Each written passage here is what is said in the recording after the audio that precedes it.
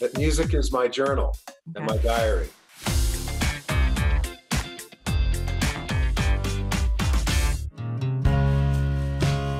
Love is not made of gold. He is Robert DeLeo. So many of you know him from his work on a little band called Stone Temple Pilots. Flies in the Vaseline we are. Sometimes it blows my mind. We're talking about the solo project. Dude, lessons learned. What, what's the vibe? What are people getting out of this new solo album?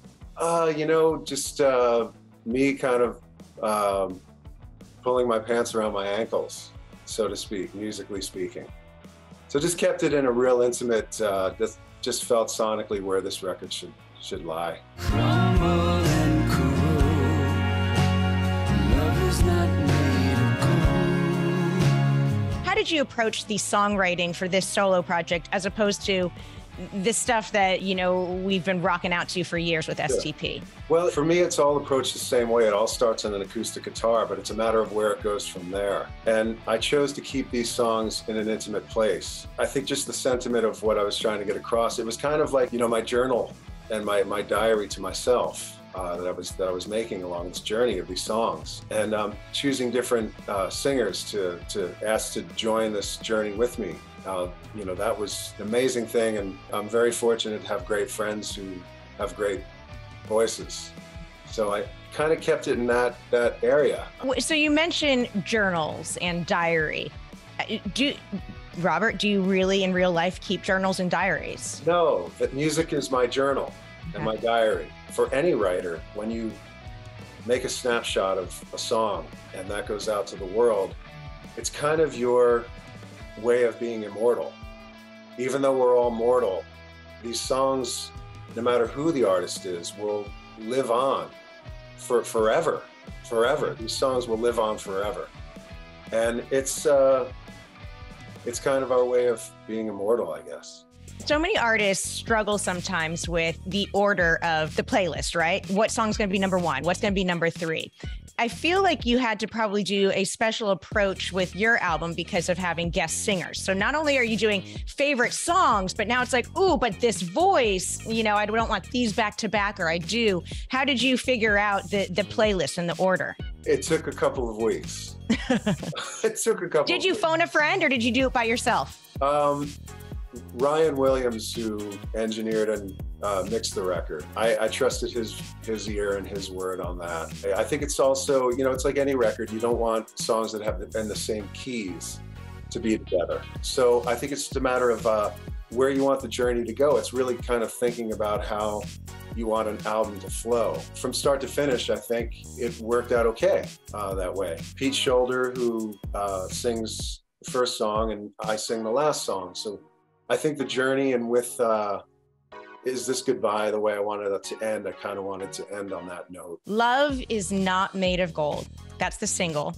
Um, it, it almost has a sentiment of the glass is half empty, not half full. How do you see this? Well, um, I think the themes on here are universal. It's everything. It's it's it's all things we feel. There's been a lot uh, that has happened over the past couple of years of my life, and um, I just, like I said, simply trying to document that and and take that journey, musically speaking.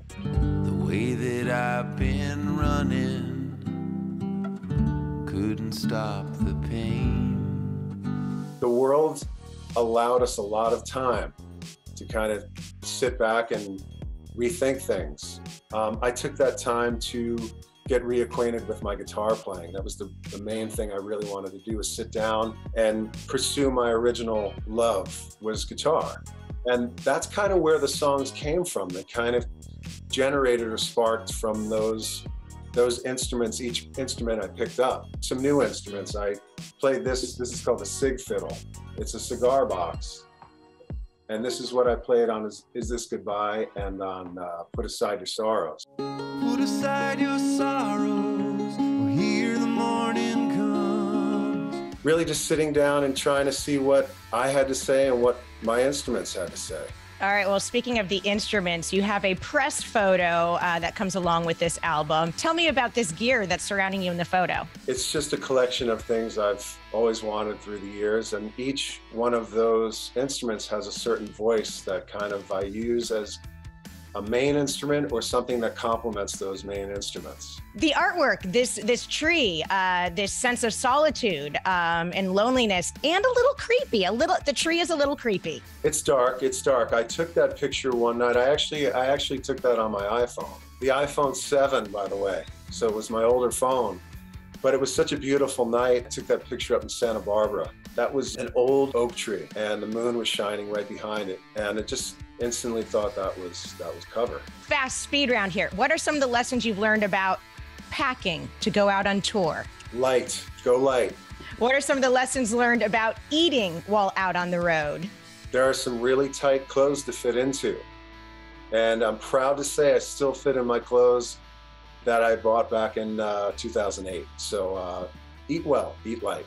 But in all seriousness, um, what are some of the lessons you've learned that you, are bringing to this album? Because there's there's so many stories, like you said, that are intimate on this album. Um, and to name something, lessons learned, you're trying to tell us something. And what is that? Well, I'm still learning.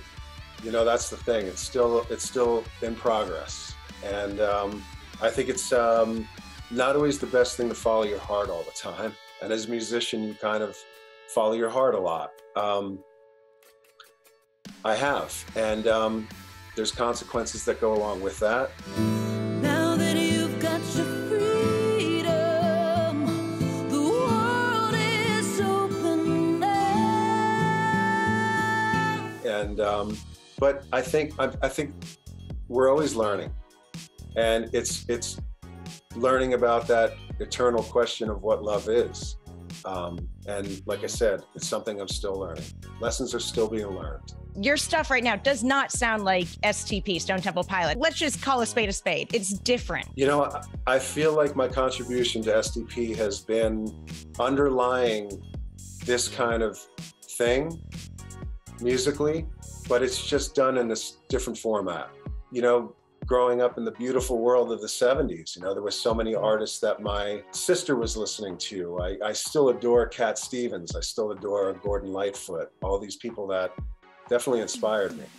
All right, the new album is called Lessons Learned. It's by Robert DeLeo. Uh, the new single is Love is Not Made of Gold. Uh, this thing is, you know, digitally, yeah, you can get your hands on it, but vinyl, that is where it's at, my friends. Yes, definitely. There. Thanks for watching AXS TV. Subscribe, follow, like, and do all the good stuff. And make sure you leave a comment below. I don't know, just let us know what your favorite AXS TV show is, or who your favorite bands are, and what artists you're into, or just say hi, man. I like to be told hi. We love hearing from you. That's the point, all right? Keep it coming.